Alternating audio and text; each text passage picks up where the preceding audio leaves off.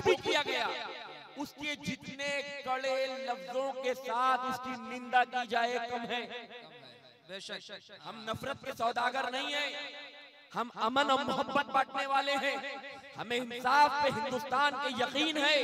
अगर नफरत की बोली बुरी है तो कार्रवाई फिर एक तरफ़ नहीं होनी चाहिए। सिक्के के दूसरे पहलू को देखना कि तुम्हारी ज़िम्मेदारी है।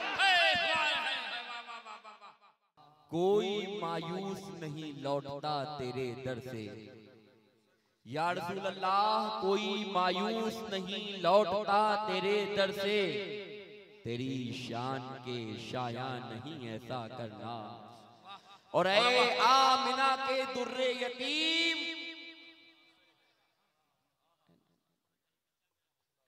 ए आमिना ये तेरी शान हाँ, हाँ, ये तेरी शान है।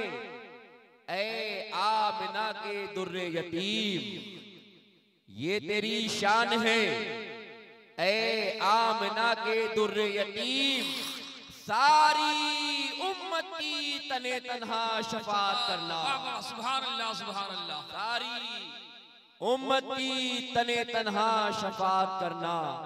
ए खाते खातान रसूल वक्त दुआ है। उम्मत पे तेरी आके अजब वक्त पड़ा है। या रसूल अल्लाह जो दीन निकला था वतन से शानो शौकत से परदेश में आज वो गरीबो गुरबा है। परदेश में आज वो गरीबो गुरबा है। अजीजा ने गिरामी अल्लाह कुरान में इरशाद फरमाता है इन दीना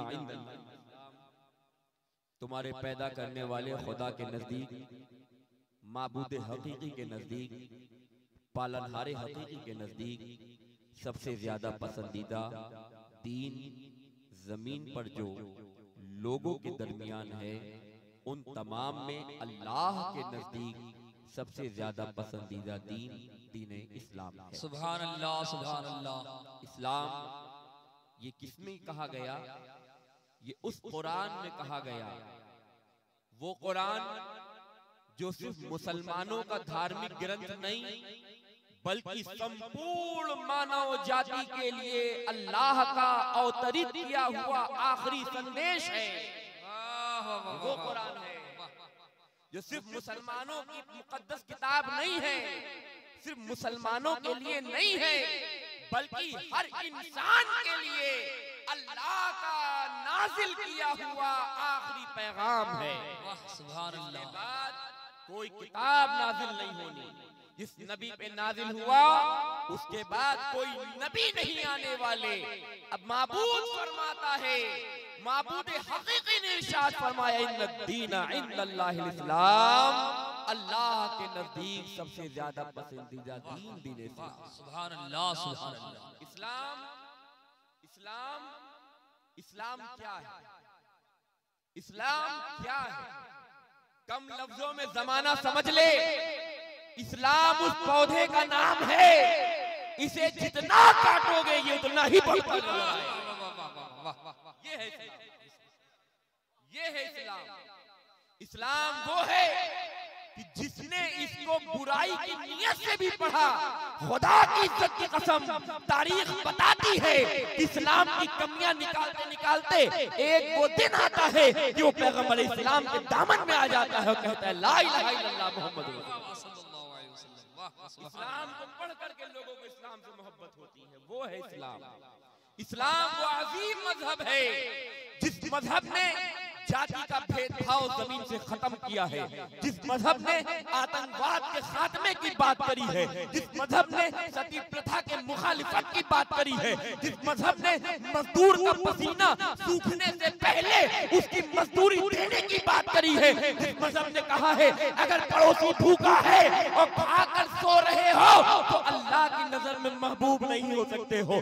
जिस मज़हब ने ये बताया है यतीम के सर पे हाथ रखना ऐसे है कि जैसे किसी ने किसी ने अल्लाह की रहमतों को दावत दे दिया हो। यतीम की कफालत करना ऐसे है जैसे किसी ने अल्लाह तबारक व तआला की रहमतों के साए अपनी जगह ढूंढ ली हो।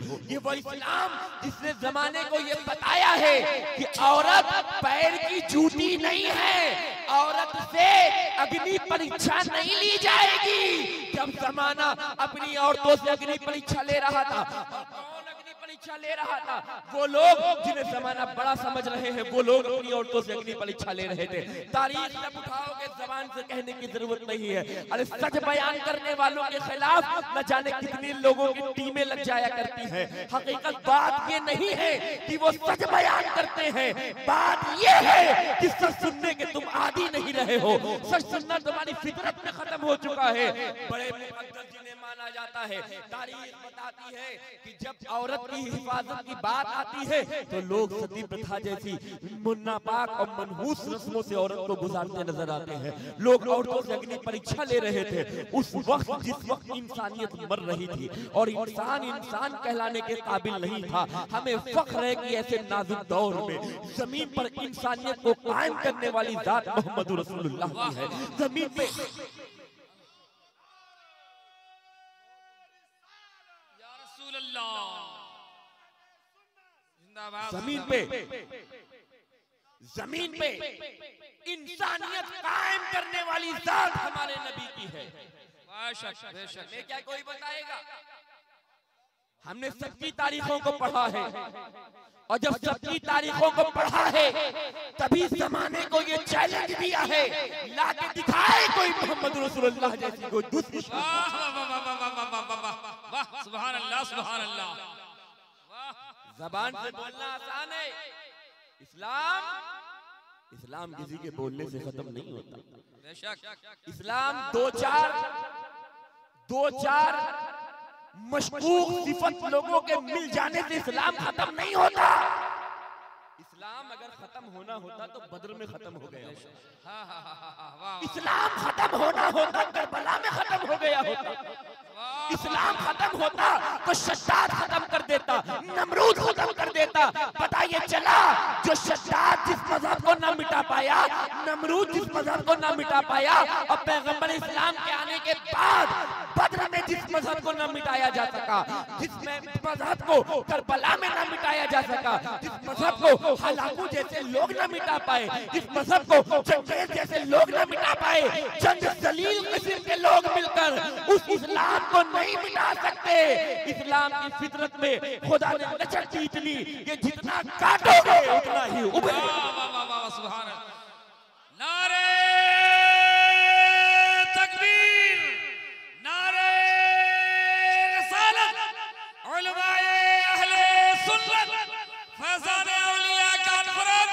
इस्लाम वो अजीब मज़हब है वो अजीम मज़हब है इस्लाम क्या कोई बात करेगा हमसे क्या कोई बात करेगा जिनके यहाँ इबादतें करने के लिए भी जात देखी जाती है वो हमें बताएँगे अरे आओ इस्लाम की शान देखो एक मस्जिद का इमाम किसी भी जात का हो वक्त से आज़म भी आएगा तो उसी के पीछे नमाज़ पढ़ते हाथ बांधते सुभान अल्लाह वाह। वाह वाह ये इस्लाम।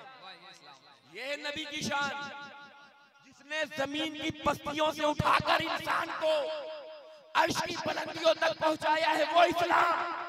जिसने समाज में अमन और अमान कायम की है वो है इस्लाम। जिसने अदलो इंसाफ की बात की है वो है इस्लाम। जिसने जीने का सलीका सिखाया वो है इस्लाम वो है इस्लाम इस्लाम क्या है Islam is ledges of peace Islam is ledges of women Islam is not terrorism terrorism is not Muslim तारीख बताती है इस्लाम अमन का पैगाम देने वाला मज़हब है। इस्लाम समता और समानता की बात करने वाला मज़हब है। इस्लाम आतंकवाद को मिटाता है। और मुसलमान कभी आतंकवादी नहीं है। सकता। वाह वाह वाह वाह जब ज़मीन पर दलितों से नफरत की जा रही थी। पिछले साल का मौजूद में छेड़ूँगा इंशाल्लाह, जो बोल के गया हूँ, वो एक लफ्ज नहीं बोलूँगा। जब ज़मीन जब ज़मीन दलितों से उनके दलित होने की वजह से नफरत कर रही थी, दलितों से दुर्व्यवहार किया जा रहा था, प्रेम की दृष्टि से दलितों को नहीं देखा जा रहा था दलितों को जूते में पानी पिलाया जा रहा था। ये तारीख दलितों को भूलनी नहीं चाहिए कभी क्योंकि तारीख में मौजूद है। मगर कुर्बान जाओ जिसने भी ये करा गलत करा। इंसान इंसान सब बराबर होते हैं। समाज में सम्मान सबको मिलना चाहिए। अब अब तारीख उठा के बताओ दिल पे हाथ रख के बताओ आखिर तुम्हें ये सम्मान किसने दिलाया? जब तुम तारीख का जायजा लोगे पता ये चलेगा ये सम्मान समाज में दिलाने वाली जात भी मोहम्मद रसूलुल्लाह। वाह सुभान अल्लाह सुभान अल्लाह वाह, हक है। होठ मोटे हैं। होठ मोटे हैं। चेहरे का रंग काला है। हफ्शा से ताल्लुक है। वाह वाह वाह वाह वाह। गुलाम है गुलाम। गुलाम है। नबी की निगाह है मोहब्बत बड़ी का इसे कौन आज़ाद करे वाह इसे कौन आज़ाद कराएगा? इसे आज़ाद करा दो हज़रत अबू बकर सिद्दीक रज़ियल्लाहु ताला अन्हु गए आज़ाद करा ले। जिसे आज़ाद करवाए तो उसने कहा अजीब हो। तुमने घाटे का सौदा करा आज़ाद कराते किसी खूबसूरत गुलाम को आज़ाद कराते। ये इनके समाज में कोई इज़्ज़त? जिस बिरादरी से है उसकी कोई इज़्ज़त? कोई इज़्ज़त में किसे आज़ाद करा के ले जा रहे हज़रत अबू बकर सिद्दीक ने फरमाया अक्ल पे तुम्हारी पर्दे पड़े। तुम पागल। अरे इसके एवज में तुमने तो कम मांगा अगर तुम मेरी पूरी दौलत मांगते मैं इसको रिहा करवाने में पूरी दौलत दे देता। सुभान अल्लाह सुभान दे दिया। रिहा करा के नबी की बारगाह में ले आए या सुल्ला पेश है। तारीख बताती है कि उस समाज को रसूलुल्लाह ने इज़्ज़त कैसे दी जिसे कोई अपने बगल में नहीं बिठाता था। रसूलुल्लाह ने जब आजान देने की बात आई बिलाल से कहा बिलाल ज़मीन पे नहीं वो दौर और होगा। जब ज़मीन पे बिठाया नहीं जाता था ये मोहम्मद रसूलुल्लाह की अदालत है। काबे की छत में खड़े हो जाओ और वहाँ चढ़ के कहो ला इलाहा इल्लल्लाह मोहम्मद चढ़ के कहो अशहदु अल्ला इलाहा इल्लल्लाह व अशहदु अन्ना मुहम्मदन अब्दुहु व रसूलुहु। वहाँ चढ़ के कहो सलाह वहाँ चढ़ के कहो हय्या अलस सलाह वाह वाह वाह वाह सुभान अल्लाह। समाज में दलितों को इज़्ज़त दिलाने वाली जात हमारे नबी। वाह वाह वाह वक्त मेरा पूरा हो गया। अब मैं अपनी तकरीर खत्म कर रहा हूँ। वाह तो दावाना देखिए मैं वक्त का पाबंद हूँ और मुझे जो वक्त दिया था अच्छा और बोलूँ। आप लोग बताइए दस दस दस दस अच्छा हाथ उठा दीजिए मेरी हिम्मत बढ़ जाएगी। दस दस फिर मैं इनकी भी नहीं सुनूँगा। आप हाथ उठाइए। कौन सुनेगा मुझे? वाह वाह वाह सुभान अल्लाह सुभान अल्लाह सुभान अल्लाह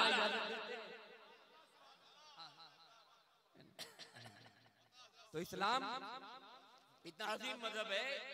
जिसने दलितों को इज़्ज़त देकर जिनको ज़मीन पे लोग बराबर में बिठा लेते रसूलुल्लाह ने काबे की छत पर वाह चढ़ाया। वाह वाह वाह वाह वाह वो है इस्लाम। इस्लाम वो अजीम मज़हब है जिस वक्त मजदूर के से मजदूरी देना तो दूर की बात है। मजदूर पे जुल्म करके लोग अपने लिए फख्र का सबब समझते थे मजदूर आता था मजदूरी करता था मगर लोग पैसा नहीं देते थे।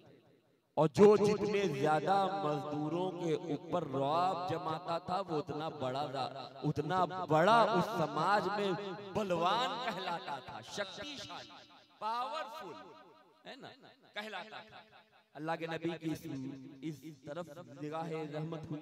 सरकार ने फरमाया लोगो क्या कर रहे हो? मजदूर से मजदूरी करवाते हो। हुजूर ने फरमाया सुनो मजदूर का पसीना सूखने से पहले उसकी मजदूरी उसके हाथों तक वाह वाह पहुँचा सुभान अल्लाह सुभान अल्लाह हक है मैं पूछना चाहता हूँ दुनिया की कोई तारीख हो तो बताओ जिसने मजदूरों का भी ख्याल रखा हो वो जात हमारे नबी की है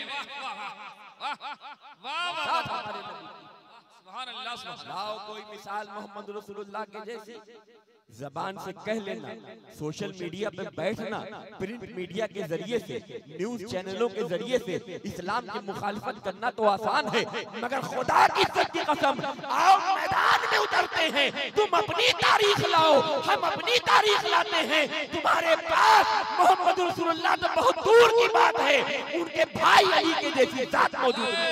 ए, वाह वाह वाह वाह वाह। उनके गुलाम बिलाल हबशी जैसी जात मौजूद है। वाह वाह वाह। क्या बात करोगे हमसे? वो इस्लाम वो इस्लाम। जिसने समाज में समता समानता की बात करी है। सबका साथ सबका विकास सबके विश्वास की बात इस्लाम ने करी है। वाह वाह वाह वाह क्या बात है। सबका साथ सबका विकास सबके विश्वास की बात इस्लाम ने करी है। अब ये नारा कोई चुरा के ले जाए तो जिम्मेदार नहीं। ये इस्लाम ने बात करी, सबका साथ कैसे? बिलाल जैसे। गुलाम को भी नबी साथ बिठा रहे सबका विश्वास कैसे? कि अभी नबूवत का ऐलान नहीं करा है। अरब की औरतें अपने शोहरों से कह रही हैं, हमारे साथ वो सलूक करो जो नबी अपनी बीबी खदीजल कुबरा के साथ करते हैं। विश्वास ये है कि अमानतें रखवा के चले जाते हैं। और विकास ऐसा अल्लाह अल्लाह। विकास ऐसा कि जो यसरब था यसरब उसको मदीना बना दिया। वाह वाह वाह वाह वाह वाह सुभान अल्लाह सुभान अल्लाह ये है विकास। विकास जो यसरब था उसे मदीना बना यसरब को मदीना बना दिया ये है विकास। सबका साथ निभाने वाली जात मोहम्मद रसूलुल्लाह की। सबका विश्वास हासिल करने वाली जात मोहम्मद रसूलुल्लाह की। और सबका विकास करने वाली जात मोहम्मद रसूलुल्लाह सुभान अल्लाह इस्लाम इतना इस्लाम फिर आऊँगा। इस्लाम इतना अजीम मज़हब है अल्हम्दुलिल्लाह। आज अगर हमारे उलमा इस्लाम के मुतालिक बोले तो न जाने कितनी एजेंसियाँ पीछे लग जाती हैं। याद रखे हर शख्स याद रखो। कौम के उलमा की जबान जब तक खुली रहेगी कौम महफूज रहेगी। जिस दिन उलमा खामोश हो गए उस दिन कौम मुर्दा है मुंबई की सरजमीन पर हज़रत मुफ्ती सलमान साहब के साथ जो कुछ भी किया गया उसके जितने कड़े लफ्जों के साथ उसकी निंदा की जाए कम है। हम नफरत के सौदागर नहीं हैं। हम अमन और मोहब्बत बांटने वाले हैं। हमें इंसाफ पे हिंदुस्तान के यकीन है। अगर नफरत की बोली बुरी है तो कार्रवाई फिर एक तरफ़ नहीं होनी चाहिए। सिक्के के दूसरे पहलू को देखना कि तुम्हारी ज़िम्मेदारी है।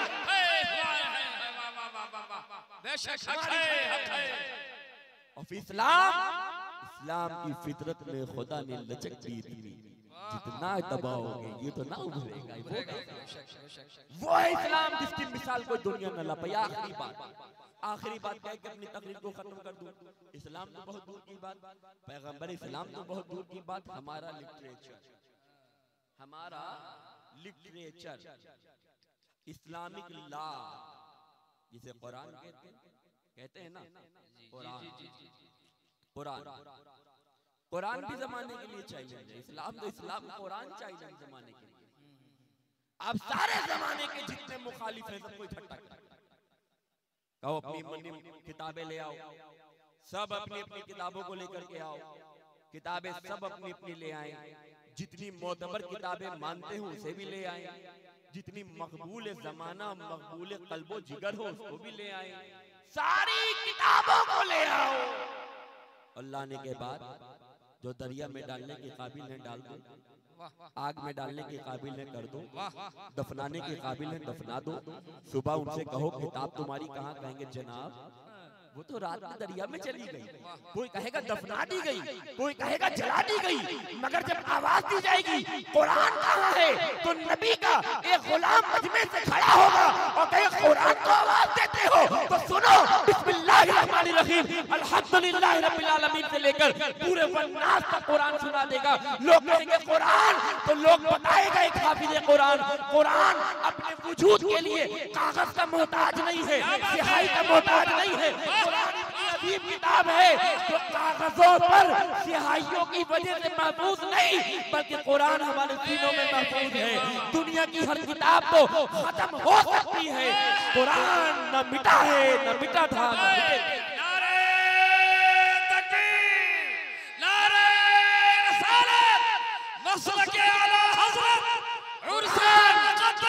कुरान न मिटा है न मिटेगा। वाह वाह। हमें जो कुरान न मिटा पाया वो इस्लाम क्या मिटाएगा।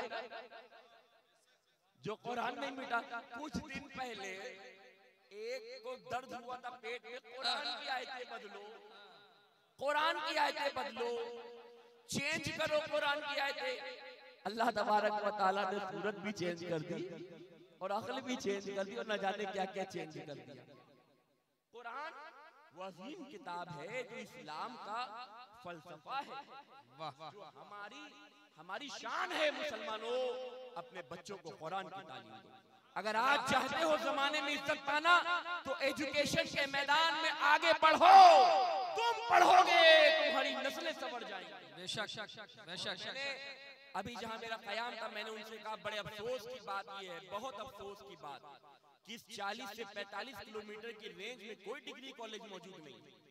ये बड़े अफसोस की बात है। मुसलमान ये 40 से 45 कुल बच्चों को ग्रेजुएशन करने के लिए, आला तालीम हासिल करने के लिए यहाँ से कितनी दूरी पर जाना पड़ता है? जी जी जी ज़िम्मेदारी आपकी है। जी क्योंकि दूसरों की ज़िम्मेदारी नहीं है।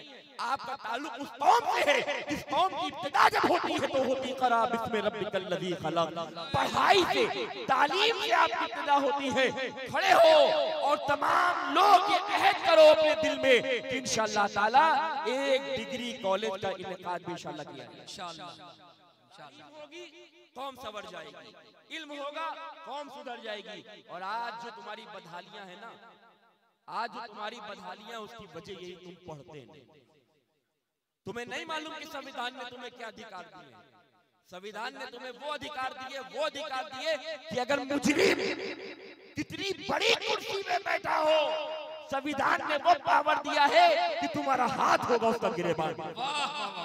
हमारे मुल्क का संविधान। पढ़ो तालीम हासिल करो। एजुकेशन के मैदान में आगे बढ़ो। अपने बच्चों को अच्छी तालीम दो।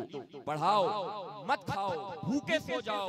आधी रोटी खा लो मगर खुदा के वास्ते अपने बच्चों को पढ़ाओ अगर नस्लों का मुस्तकबिल चाहते हो बच्चों को पढ़ाओ अगर कौम की फलाह चाहते हो बच्चों को पढ़ाओ अगर चाहते हो कि जमाने में तुम्हारा नाम बाकी रहे तो बच्चों को पढ़ाओ बच्चे पढ़ेंगे। इंशाल्लाह ताला तुम्हारी कौम सवर जाएगी। बच्चे अगर तुम्हारे नहीं पढ़ेंगे नहीं पढ़ेंगे अगर बच्चे। तो ये जो जो जमाना तुम देख रहे हो ना इससे बुरा भी जमाना है। इससे भी बुरा जमाना आएगा। इससे भी बुरा जमाना है। फिर कह रहा हूँ इससे भी बुरा जमाना आएगा। तारीख बताती है जिस कौम ने अपनी हकीकत को नहीं पहचाना वो कौम फना हो गई। इस्लाम की इब्तदा ही करा से हुई पढ़ाई से। तुमने पढ़ाई को छोड़ दिया। एजुकेशन को तुमने छोड़ दिया। और फिर उसके बाद नतीजे क्या निकले आज सबके सामने?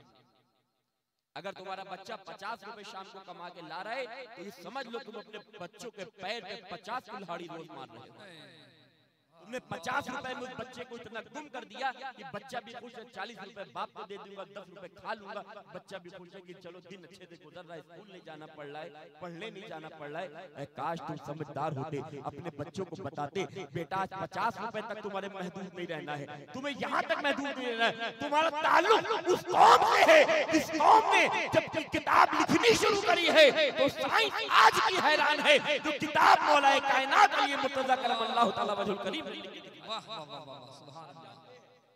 संज्ञा, सर्वनाम, है ना? नाउन प्रोनाउन की जो डिफिनेशन है ये सबसे पहले किसने लिखी? ये बस अब खत्म करने दीजिए मुझे तकरीर, वक्त ज़्यादा हो गया। नाउन प्रोनाउन की डिफिनेशन सबसे पहले किसने लिखी? बस ये सुन लो और सलाम नाउन प्रोनाउन की डिफिनेशन सबसे पहले किसने लिखी? आप जानते हो? अच्छा जो जानता है, अगर कोई जानता हो तो बताओ आप दो तीन चार पाँच छह सात आठ सौ साल पहले की लेकर आओगे ना? मेरे पास पंद्रह सौ साल पहले की दलील है वाह वाह सुभान अल्लाह सुभान अल्लाह noun is the name of any person place और थिंग हमारे पास इसकी दलील पंद्रह सौ साल पुरानी। लाओ। तारीख उठाओ। वाह वाह वाह वाह पता ये चला। इस्म और फेल की तारीफ़ हज़रत अली मुर्तजा करम अल्लाह ताला वजहुल करीम ने मुस्तफ़ा की अता से सबसे पहले नाउन प्रोनाउन की डिफिनेशन हज़रत अली मुर्तजा ने लिखी ये है हमारी तारीफ़। साइंसदा बड़े बड़े हमारे मज़हब में। और आप सोचिए, आप ये सोचिए, जो कौम तीस पारों का कुरान अपने सीने में बैठा सकती है। तीस पारों का कुरान याद कर सकती है। जो कौम तीस पारे हिफ्ज कर सकती है क्या उस कौम के बच्चे I S I P S नहीं बन सकते? बन सकते हैं। बनाओ अपने बच्चे को वाह तो दावा